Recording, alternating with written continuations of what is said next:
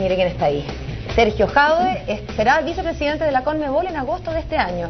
En el Congreso de FIFA del primero de este mes, en las Islas Mauricio, el calerano será oficializado en su nuevo cargo. Tiene 34 años y será el vicepresidente más joven en la historia.